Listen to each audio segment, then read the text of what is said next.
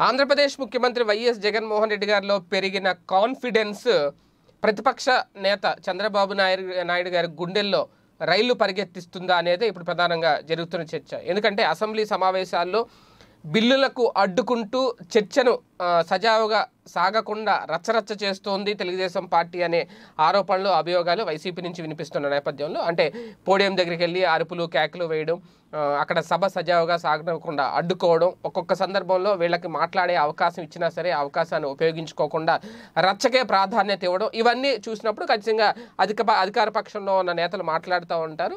సభ సాంప్రదాయాలు గౌరవించలేనప్పుడు సభా మర్యాదలను కాపాడాల్సిన సభ్యులు వాటిని కాపాడలేనప్పుడు ఖచ్చితంగా వాళ్ళ మీద సస్పెన్షన్ అనేది వేటు పడుతుంది. అదే జరుగుతుంది. అందుకే ఈ సమావేశాల్లో చంద్రబాబు నాయుడు గారి మీద సైతం సస్పెన్షన్ వేటు పడింది. మిగిలిన కీలక నేతల మీద కూడా సస్పెన్షన్ వేటు పడుతూ ఉంది. అయితే ఇక్కడ జగన్మోహన్ రెడ్డి గారి మీద గతంతో పోలిస్తే ఇప్పుడు ప్రజల్లో విశ్వసనీయత పెరిగిందా విశ్వాసం తగ్గిందా లేదా అనే దాని మీదే తాజాగా వచ్చిన ఓ సర్వేలో జగన్ గారి మీద ఓటింగ్ శాతం ఏమాత్రం తగ్గలేదు. గతంతో పోలిస్తే ప్రజల నుంచి విశ్వసనీయత జగన్మోహన్ రెడ్డి గారు ఏమాత్రం కోల్పోలేదు అనే కొన్ని అంశాలు వెలుగులోకి వచ్చాయంట. దాన్ని అసెంబ్లీ సాక్షిగా జగన్మోహన్ రెడ్డి గారు బయట పెట్టడం తమ మీద ప్రజలకు పూర్తి విశ్వాసం ఉంది అని అంటే జగన్ గారు జగన్మోహన్ రెడ్డి ఒక మాట చెప్తే అది చేసి తీరతాడు అనే నమ్మకం ప్రజల్లో ఉంది ప్రజలు నమ్ముతున్నారు.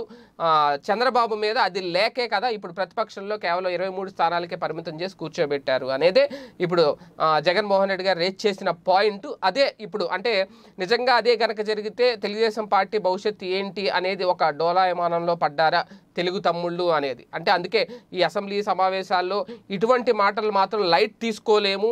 చర్చల్లో చర్చకు సంబంధించి అంటే ఒక టాపిక్కి సంబంధించి ఒక పాయింట్కి సంబంధించి ఇసుక విధానం గురించో పోలవరం ప్రాజెక్ట్ గురించో లేదంటే రాజధాని గురించి ఇంకోటి ఇంకోటి. దాని మీద ఏం మాట్లాడినా ఓకే కానీ ఇక్కడ క్రెడిబిలిటీ గురించి అంటే ప్రజల్ ప్రజల్లో టీడీపీ క్రెడిబిలిటీ కో కోల్పోతుంది అని సాక్షాత్ జగన్మోహన్ రెడ్డి గారే చెప్పారు అసెంబ్లీ సాక్షిగా. అంటే ఖచ్చితంగా ఆ విషయాన్ని సీరియస్గా తీసుకుందంట తెలుగుదేశం పార్టీ. అంటే తెలుగుదేశం పార్టీ కూడా ఇప్పుడు నిజంగా విశ్వసనీయత కోల్పోయామా? అంటే ప్రతిపక్షం నిర్మాణాత్మక పాత్ర పోషించడంలో విఫలమైతేనే కదా విశ్వసనీయ కోల్పోతాం అనే దాని మీద కూడా ఇప్పుడు చర్చించుకుంటున్నారంట. లోపల తెలుగు తమ్ముళ్ళు ఫైనల్గా ప్రజలు అల్టిమేట్గా ఇచ్చే తీర్పులో మార్పు రావాలి అంటే ఖచ్చితంగా ప్రతిపక్షం అనుసరించే విధానాల్లో కూడా మార్పు రావాలి ఆ దిశగా ప్రయత్నాలు చేయాలి అనేది కూడా కొంతమంది రాజకీయ పరిశీలకులు చెబుతున్న సలహా. చూడాలి ఏం జరుగుతుందో. ఈ వీడియో గనుక మీకు నచ్చినట్లయితే లైక్ చేయండి షేర్ చేయండి. మరిన్ని వీడియోస్ కోసం మా ఛానల్ను సబ్స్క్రైబ్ చేయండి.